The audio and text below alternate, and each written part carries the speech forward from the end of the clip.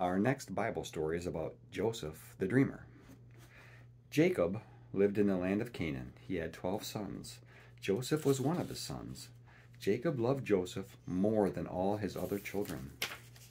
One day, Jacob gave Joseph a new coat. It was a beautiful coat. It had many colors.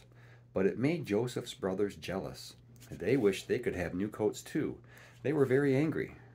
Joseph also had a special dream. He told his brothers about it. We were gathering grain in my dream. My grain stood up. Your grain bowed down to my grain. Joseph had another dream. He said, The sun, the moon, and eleven stars bowed down to me. His brothers did not like his dreams. They were very jealous. They wanted to get rid of Joseph, so they sold him to some traders who were traveling to faraway lands. The traders took Joseph far away to Egypt, but God was still watching over Joseph. Joseph had a hard time in Egypt. Even though he was good, they put Joseph in jail. But God was with Joseph. The jailer liked Joseph, and he let Joseph take care of the other prisoners. One of the prisoners was a butler. Before he was in jail, the butler's job was to bring the king of Egypt something to drink. One night the butler had a dream. He dreamed he was taking a drink to the king. The butler told Joseph his dream. Joseph said, that means you will soon be out of jail. You will get to do your job again.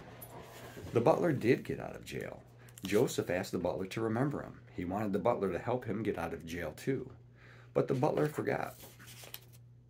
One night, the king had a dream. He dreamed that seven fat, juicy ears of corn were growing on one stalk. Then seven thin ears of corn grew up, and they swallowed the fat, juicy corn. The king had another dream. He dreamed that there were seven fat cows, but then seven thin cows gobbled them all up. The dreams made the king worry. He asked his wise men what the dreams meant, but they did not know. Then the butler remembered Joseph. He told the king about Joseph. So the king sent for Joseph. Joseph told him, Your dreams mean Egypt will have seven good years. There will be plenty of food to eat.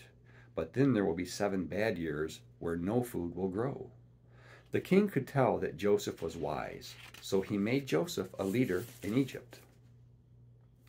Joseph helped the people of Egypt save their food for seven good years. Then, when the bad years came and no food grew, the people ate the food they had saved. No food grew in Canaan where Joseph's family lived, but they heard there was food in Egypt. So his brothers went to Egypt to get food. They did not know they would have to buy it from their brother Joseph. The brothers bowed to Joseph. They didn't know he was their brother, but he knew who they were. Still, he did not tell them he was Joseph. They asked him for food, and he sold some to them.